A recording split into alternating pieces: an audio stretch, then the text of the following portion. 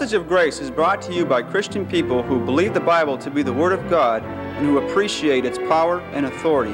Within the pages of the Bible itself, there is a God given design for its study. Rightly dividing the Word of truth is the key to understanding the Bible. We're glad you've joined us for another interesting look into God's infallible book as Richard Jordan, president of Grace School of the Bible, presents another in a series of messages designed to help you understand and enjoy the Bible. Let's join him now. We're certainly glad you've joined us today, and we trust that our time together in God's Word will prove a real blessing and help to you. We're going to look again at Romans chapter number 5. That's an exciting passage of Scripture. We've already been down through some of it, and we're going to continue down through the passage today. Uh, there's a tremendous uh, transition in the thinking of the Apostle Paul in Romans chapter number 5. He begins in verse 1 Therefore, being justified by faith, we have peace with God through our Lord Jesus Christ. And we've talked to you about how that because of the Lord Jesus Christ's death at Calvary, God has provided peace for us.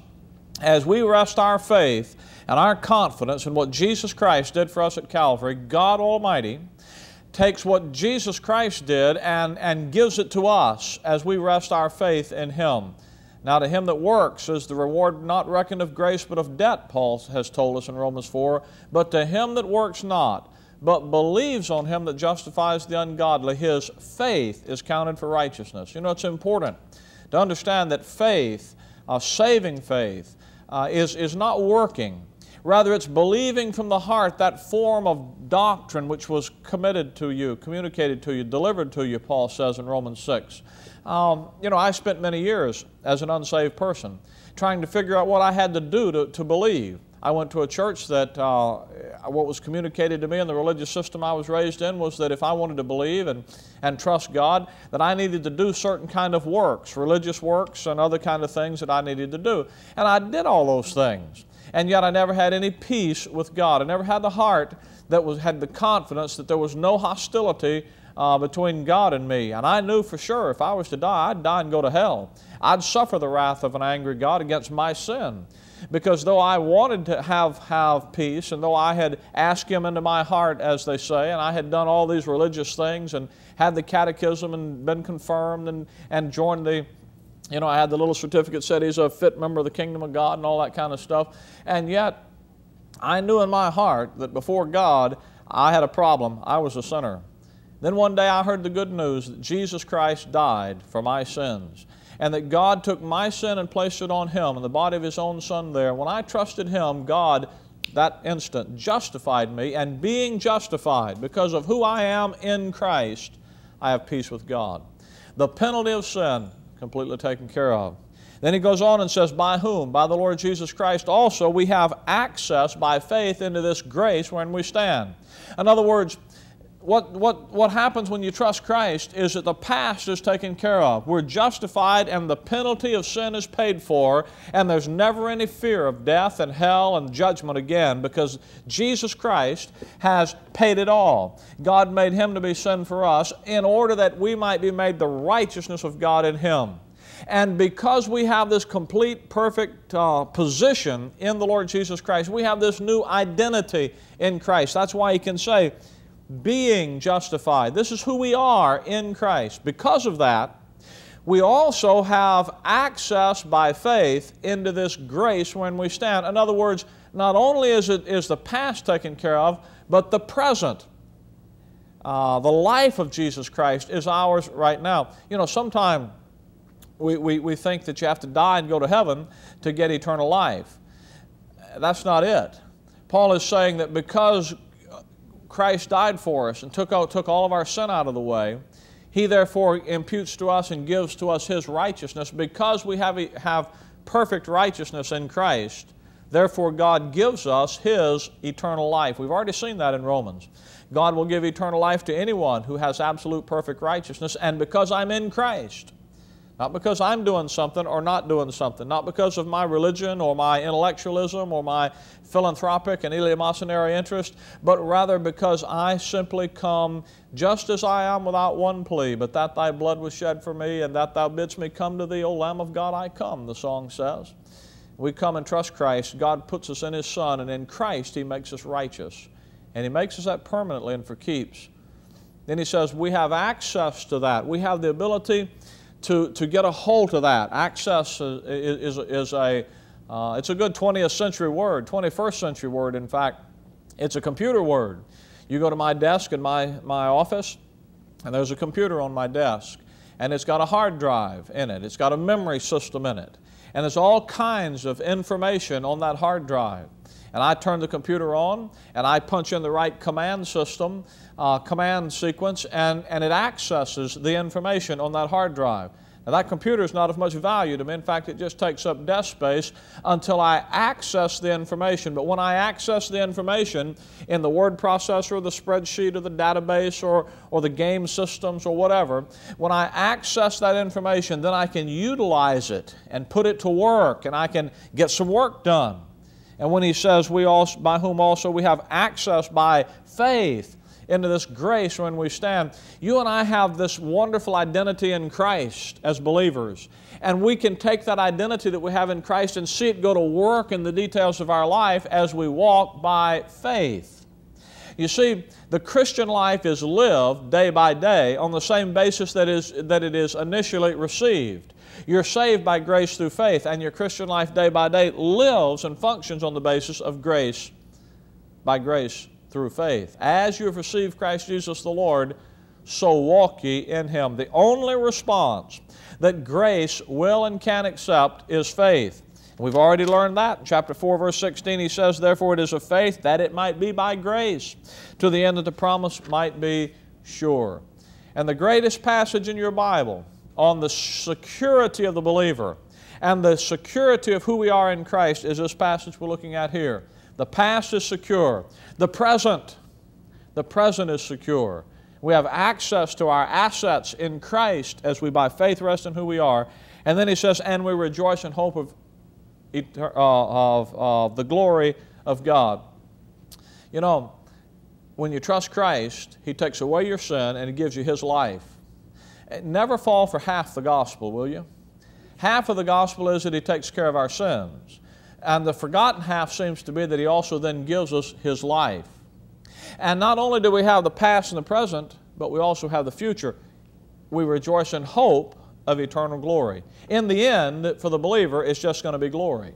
We sing that song, Oh, that will be glory for me, glory for me. In the end, my ace in the hole is no matter what happens now, no matter how bad things might get, uh, the, the, no matter how good they might get, in the end, it's just glory and His real glory. So we've got the past taken care of, we've got the present secure, and the future just untold glory awaits.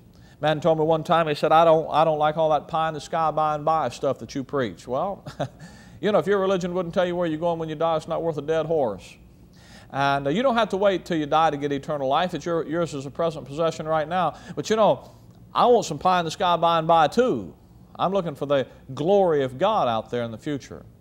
Romans chapter 3 says, All have sinned and come short of the glory of God. Here he says, We rejoice in hope of the glory of God. Between those, coming short and rejoicing in it, possessing it, stands the cross, the death and resurrection of the Lord Jesus Christ, where he was delivered for our offenses and raised again for our justification, so we could have eternal life through him.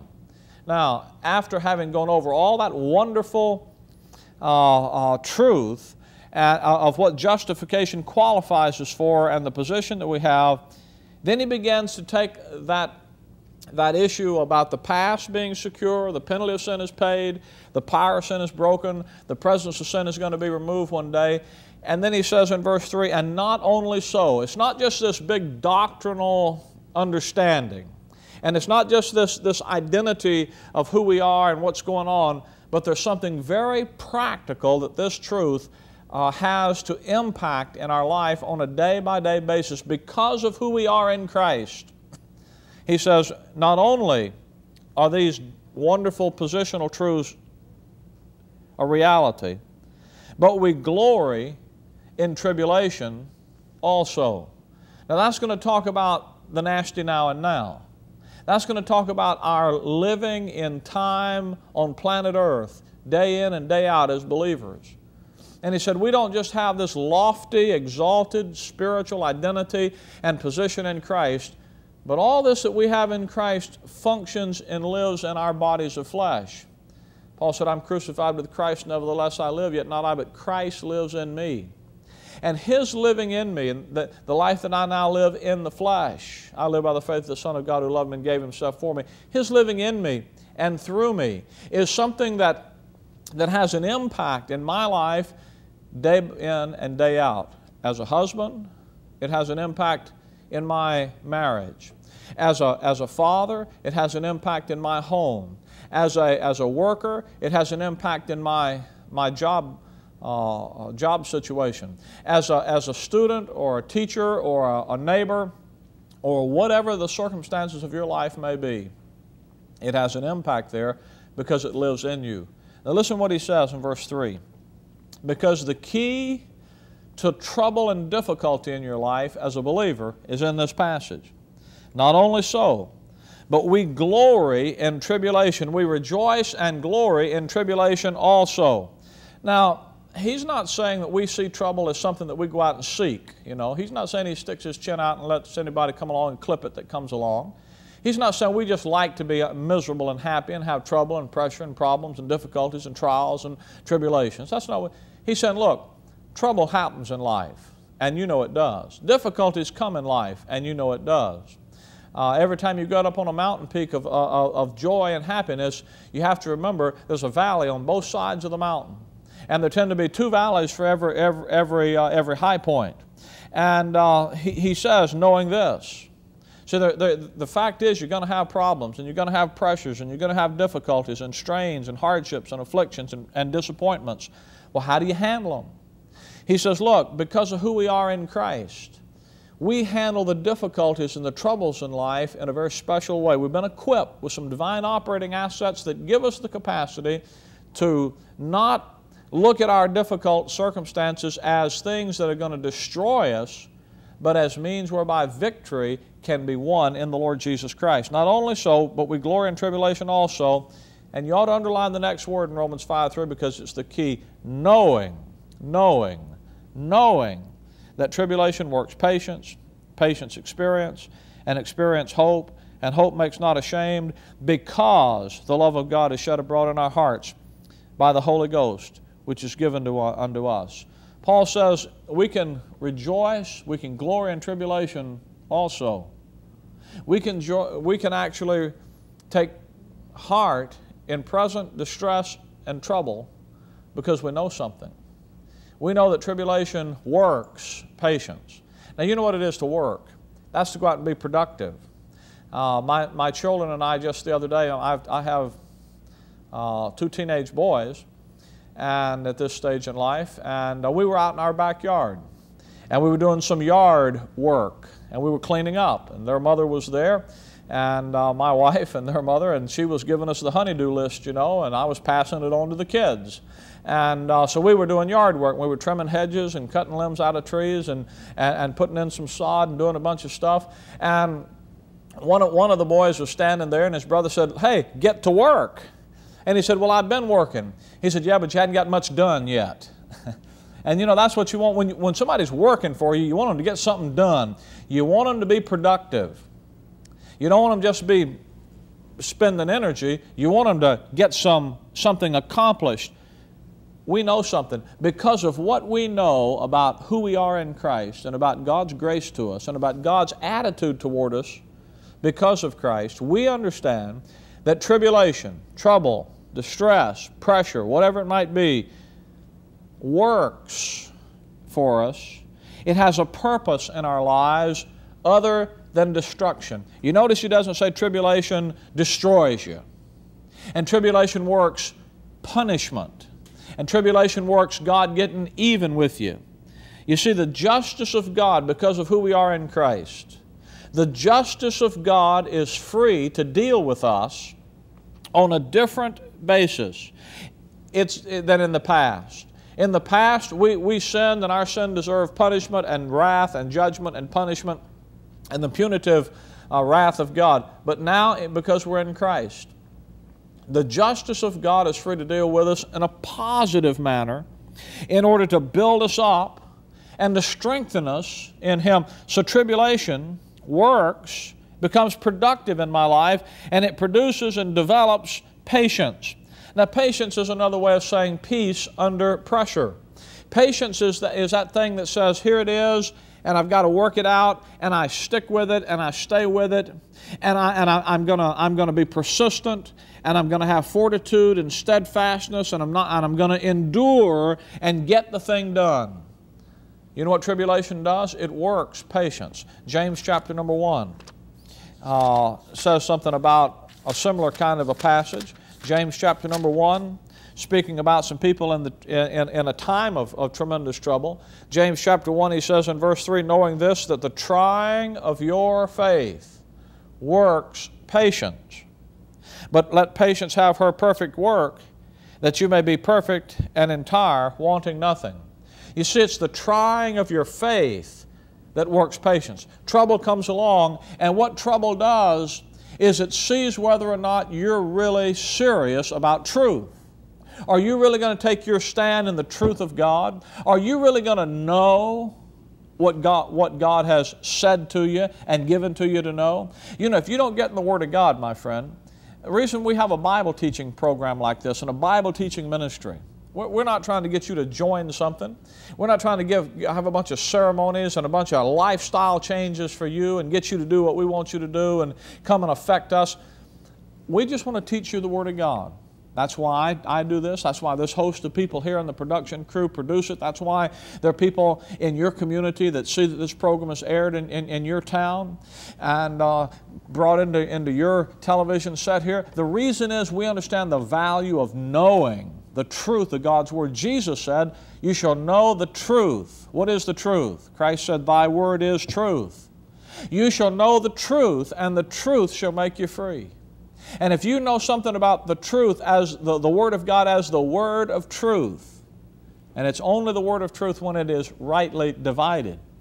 That's the, why I draw on a chalkboard and teach about that week in and week out here, is because the issue is the Word of God rightly divided, the Word of truth. And when you know that, when you begin to understand it and it begins to take a hold and the, and the sound doctrine from God's Word begins to permeate your mind and your understanding and renew your mind, then you look at the trouble that comes along and instead of that trouble destroying you, instead of that trouble being a testimony that God doesn't love you, and that God doesn't have your best interest on His heart, and that God isn't really concerned about you, and that you're out of His will, and that He's angry and He's trying to get even with you. Rather than that, it'll tell you the truth. Rather than all those lie systems, it'll tell you truth. Rather than all those maybe scriptural but undispensational systems, it'll tell you the truth about the word rightly divided. It'll tell you that today tribulation works patience. God takes the trouble that comes into our lives and causes it to work and become productive in our lives. And as we stay by the truth of who God says we are in Christ, and as we're patient and we're not caused to, to, to, to, to doubt God. And we don't look at our trouble as though it were God's wrath and anger coming upon us, like once it would have been with Israel. But we, we understand what it is, that it is what it is. It has a new purpose today, and that's to work patience in us. Trying our faith, trying our reliance on the Word of God to see if we're going to stay with the Word or we're going to abandon what God says and go by human viewpoint, a religious viewpoint. And you see, when you stay by the Word, when it tries and tests us, and, and it finds that our faith is true, and it stays by the Word, you know what it works? It works patience. And then he says patience. It works, it works the ability just to be at peace and to rest. You know how wonderful it is in the midst of trouble just to be able to relax and not worry about things? That's a wonderful thing. Not have to run to and fro and jump around like popcorn on a hot skillet, but just to be able to relax. And just to be able to trust God and know that He has your best interest at heart and that He's already done the best for you because He already put His Son on the cross at Calvary. He's already proven how much He loves you. You see, you don't have to look at your circumstances to find out how much God loves you today. God's love to you isn't tied to your circumstances, it isn't tied to your bank account, it isn't tied, tied to the condition of your health, it isn't tied to your romantic life or your marriage life or how your kids are doing or how your parents are treating you, it isn't tied to your job situation, it isn't tied to anything going on in your life today. It's tied to only one thing Verse 8 says, God commended His love toward us, and that while we were yet sinners, Christ died for us. Religion, human viewpoint, will tell you that God's esteem of you and value for you is, is measured by how healthy and wealthy you are. And that God's disfavor is, is measured by problems and troubles coming into your life, and God says, Not so. My value, my love for you is measured by one thing.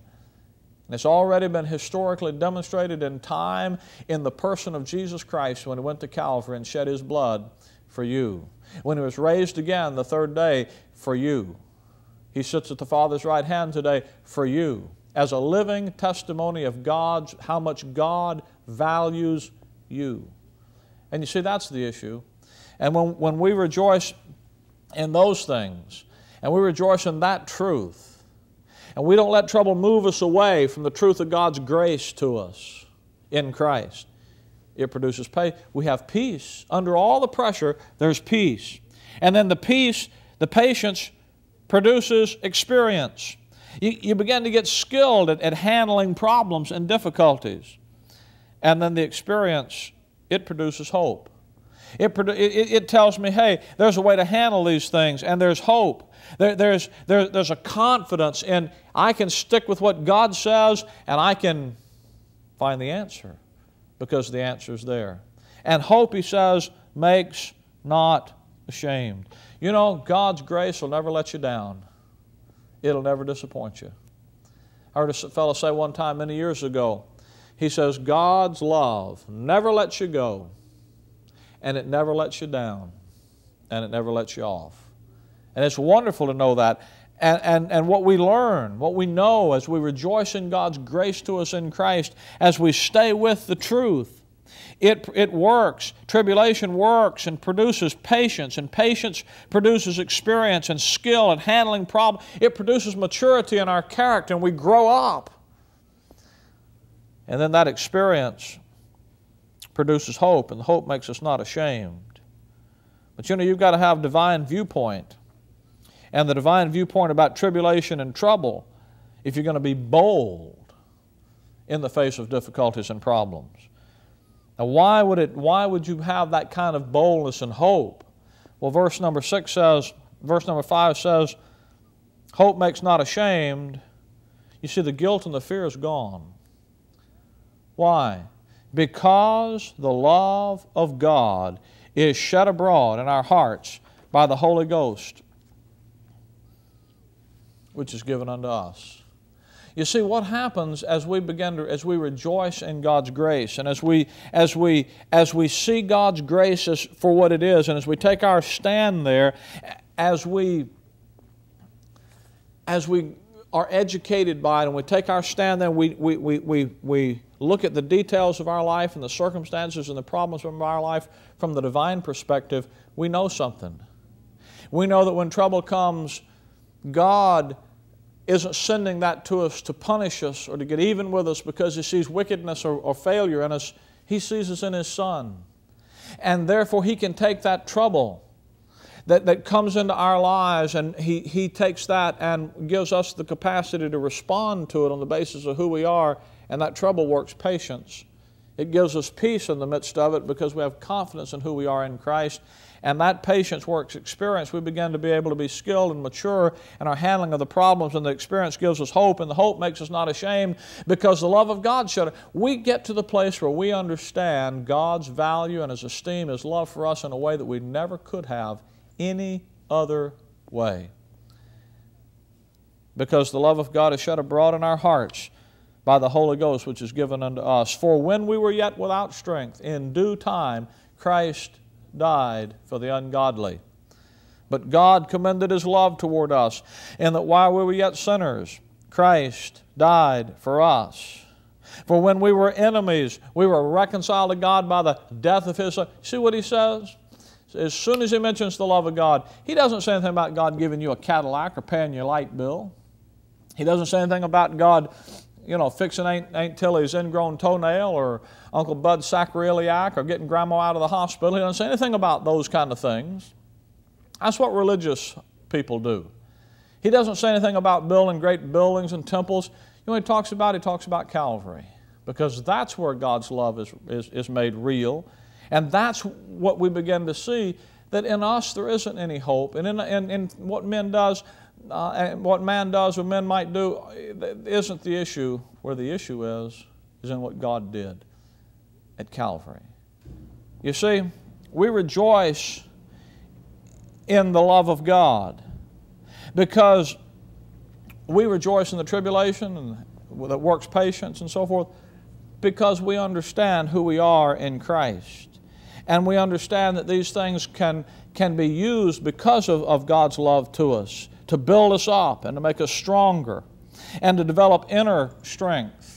Uh, the issue isn't the outward strength of the kingdom program. We're going to study that next time, so I hope you'll be with us. But let me say to you clearly that God Almighty today is focusing and working in your inner man. His ministry and work today is inside of the believer, in the inner man, on the spiritual level. And He strengthens us by His Spirit in the inner man as we take the truth of God's Word and rely upon it and stay with it. Tribulation works patience, knowing, knowing we understand God's truth. We want to help you in that regard. We want you to understand God's grace. It comes out of the Word of God rightly divided. That's why we have this program. That's why we offer free Bible study tapes to you week after week here. Why don't you get your pencil now as, as Dan comes to give, the, give you the, the address and the tape of this week and, and write us or call us and get the free Bible study tape that'll help you to get established in the truth of God's Word rightly divided and the riches of His grace to you in Christ. Thanks for listening today.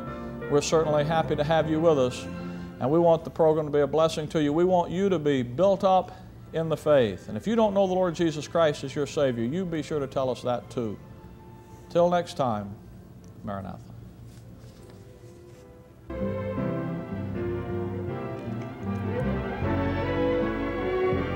Thank you, Brother Jordan, for that message from the Word of God. Friends, we have a cassette tape that we'd like you to have to go along today's study. The tape is entitled The Key to All My Trouble. It's yours free of charge. It's our way of saying thanks for listening. We'll be happy to see that you receive your free copy along with a free subscription to our monthly Bible study, The Grace Journal, if you simply write us here at the Message of Grace. The address should be on your screen. That's the Message of Grace, Box 97, Bloomingdale, Illinois 60108. If you prefer, you can also call us during normal business hours at area code 708 529 0520. Request tape offer number 234. That's tape offer number 234. The Message of Grace is a ministry of Grace School of the Bible, and we're glad you've been with us today. If our study together has been a help to you, we're happy to put you in touch with a Bible study in this area where the message of God's wonderful grace is proclaimed from His rightly divided word. And friend, if you are still not sure of salvation, that your sins are forgiven, and that you have eternal life as a present possession, let us know. We're happy to send you some gospel literature that will show you the way. The address again is the Message of Grace, Box 97, Bloomingdale, Illinois 60108. Thanks for being with us today, and God's with us until we next time for another message of grace.